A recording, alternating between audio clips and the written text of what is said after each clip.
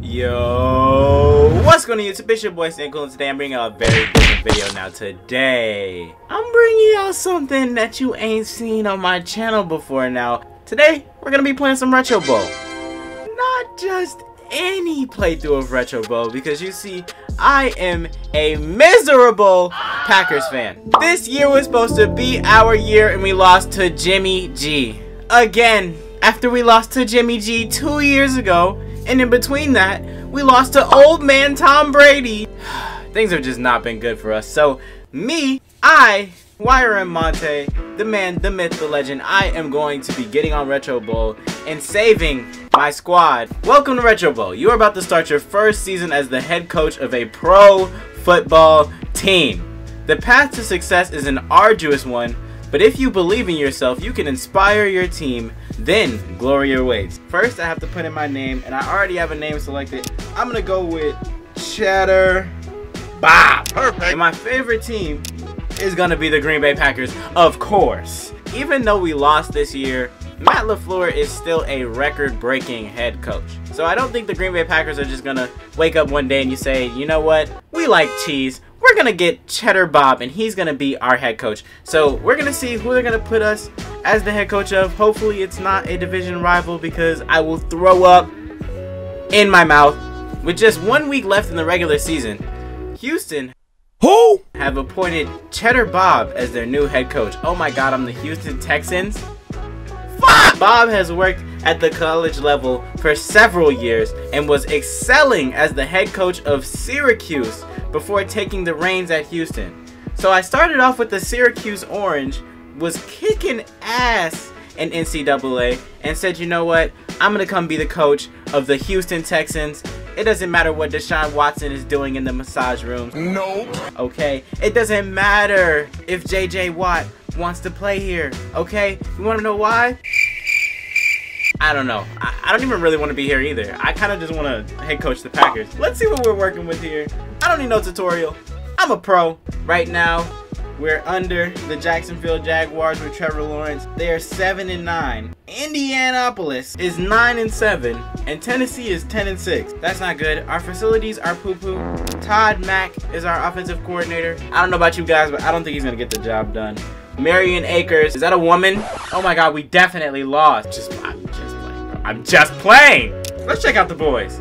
First, we have our quarterback, Maliek Davis, probably Malik, but I think Maliek sounds cooler. He's 25 years old on a two-year, $10 million contract. He's feeling pretty good right now. Running back, Leonard Carman, probably one of the worst starting running backs I've ever seen. I don't even know if I want him to play today. So our wide receiver, Nidare Fort, he actually has a little bit of giddy up on him. Look at the speed.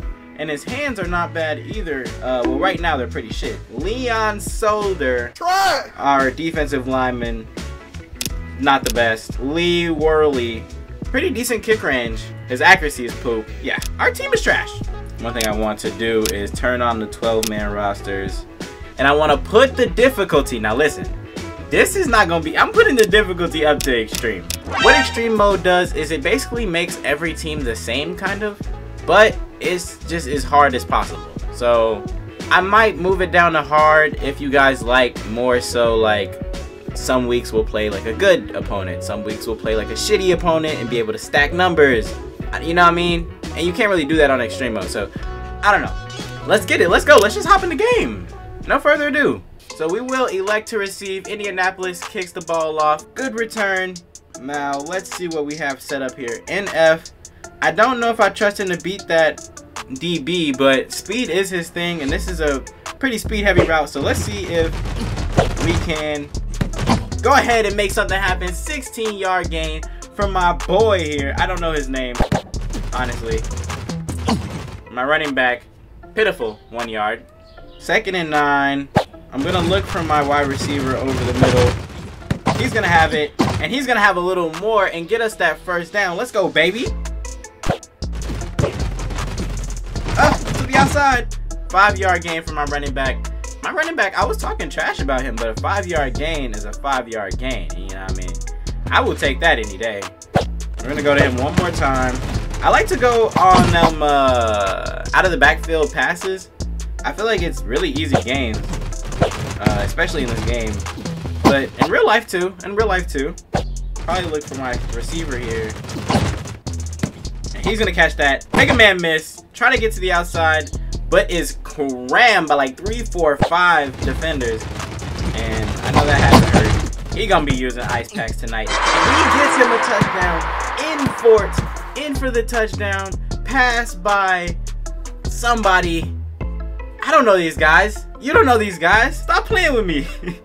so I have I'm Davis and I have in Fort, and that's gonna be the connection here. That is my Rodgers to Davante Adams. And El Carman is going to take that two-point conversion, and we push that lead up to eight. What does Indianapolis have in store for us here? Our defense is just not able to stop them at all. Going into the end of the first quarter, it looks like Indiana is going to be in the perfect position to score. They're on the 11. It's a passing play. It's a touchdown. Indianapolis scores, and they attempt to tie the game but get stopped, and we are up by two. Let's see what we can do with our running back here. And he gets stopped in the backfield for a one yard loss. That is not fun. So we got to scheme something up here. We can't. We can't do any type of audible. I'm just to pass my running back. I do not want to punt. So we're to take a shot. And he has him beat. And he catches the ball. 17 yard gain for in fort. Alright, the thing that's getting me is like, I only have one target. And he's being doubled just about every play. So like, I kind of want to get the run game going. But my running back is not good. Alright, we're going to have to take a shot here and just open pray. To the outside. 15 yard gain. In fort is so reliable. Another catch by the running back. 10 yard gain, but not enough for the first down. There's just no speed on that running back. There's just not a lick. Oh, oh no! No! Just as I say he's reliable, in Fort catches the pass and fumbles, or at least I think it was him. It might have been one of my unnamed characters. I don't know. But damn, Indianapolis gets the ball. They throw it over the middle. Indianapolis now has it on the 19. They keep it on the ground. And Solder was too slow to stop this touchdown. And Indianapolis takes the lead in this third quarter. This curl route, I love these curl routes. Should be an easy gain, and he does not catch that. God damn it. Okay, running back. We need some. Come on, cut in, cut in, dive. That's a pretty good game by my running back. It's gonna be easy. Thank you.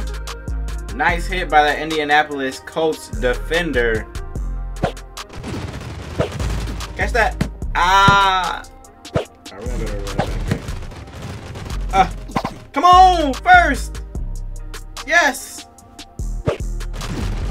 One more time. Good block. First down. Let's go, baby. Okay, so NF is going to have a nice, clean go. Let's go. 19 yard gain there from my boy in Fort NF, as we like to call him out here in Houston.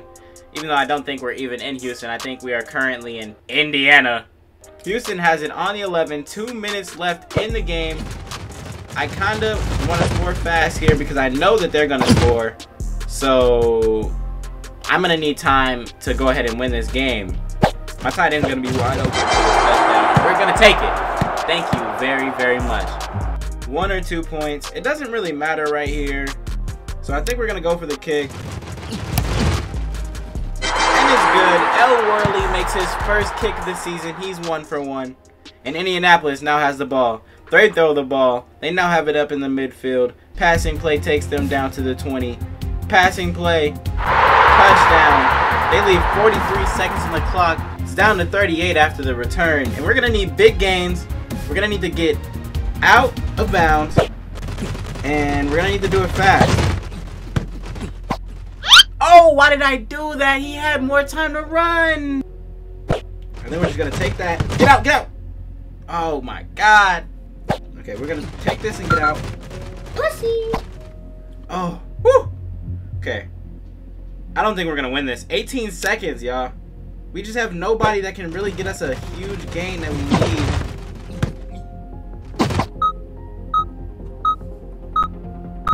Time ticks down here, unless NF scores on this play, we probably are out of luck. Two seconds left. Huge, huge, huge play there by Infort to get out of bounds with two seconds left on that pass. I didn't know if I should go for big, maybe try to get in the end zone on that play, but they are now on their own 13 yard line. One more play for the game to salvage the season, maybe give the fans a little bit of hope for the next season. And here we are. M. Davis is going to drop back. Look for Infort here. To go for it. And oh my god, Infort is stopped before he's able to get in the end zone. And your Houston Texans are two yards short of winning the last game of the season. But Indianapolis was able to close it out today. I'm putting the loss on the team. The team was shitty. The team is poop. They just literally don't have talent. So I'm not going to lose my coaching credits because these guys suck. Sorry. A little bit of a post-game recap. Our quarterback, Malik Davis, came out and dropped 238 yards, two touchdowns, no interceptions. Basically gave you everything you could expect from a trash quarterback. Our defense just didn't hold up enough for us to make something happen there. And also that fumble that we had really, really, really hurt our chances of winning that game. We have El Carman, the running back that I was talking shit about. He actually had 62 yards. So I would say that he had better than a 4 rating game. I would give that about a 5 or a 6. Infort had a 9 game. He had a touchdown, 182 yards. Our only receiver. So obviously he's going to get a lot of touches.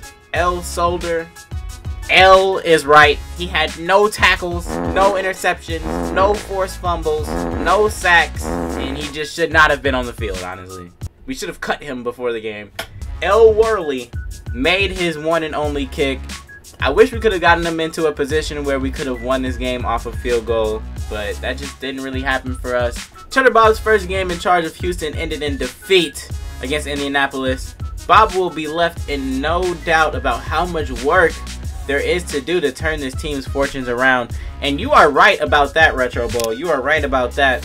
I think I'm going to finish up this episode by going ahead and going through the playoffs and seeing who does go ahead and win here. So, Super Wildcard Weekend, we have Kansas City going up against the Pittsburgh Steelers. And Pittsburgh shocks Kansas and wins 38 to 20.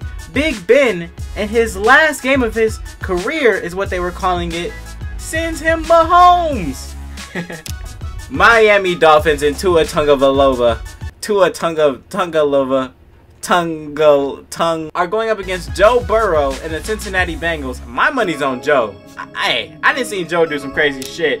And Joe goes ahead and takes clean work of these Miami Dolphins, drops them off 32 to 7 to send his team into the next round of these playoffs. Next, we have the Tennessee Titans and Derrick Henry, the king himself, is going to be going up against the Cleveland Browns and Baker Mayfield. The king makes easy work of Baker Mayfield. San Francisco beats Minnesota. Bye bye, Vikings. Dallas versus Washington. Washington shocks Dallas and they lose in the first round again. I guess I can't really talk. My team was one and done. Tampa Bay going against the Los Angeles Rams. This game actually happens the day I'm recording this. So you guys tell me who won.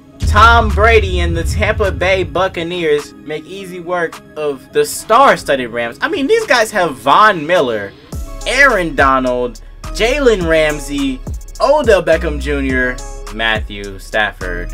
Let's not act like Matthew Stafford's that guy yet. Tennessee is going to be taking on the high-seeded, had a bye, Lamar Jackson and the Baltimore Ravens, and they do not disappoint. Joe Burrow going up against Big Ben, and he sends Big Ben home for his career. Second year, Joe Burrow makes it to the AFC Championship game again. It's not a fluke. He's really that guy. San Francisco going up against the Green Bay Packers here. And they are gonna try to repeat history. Please. I can't take more of this. Packers, please. Let's go!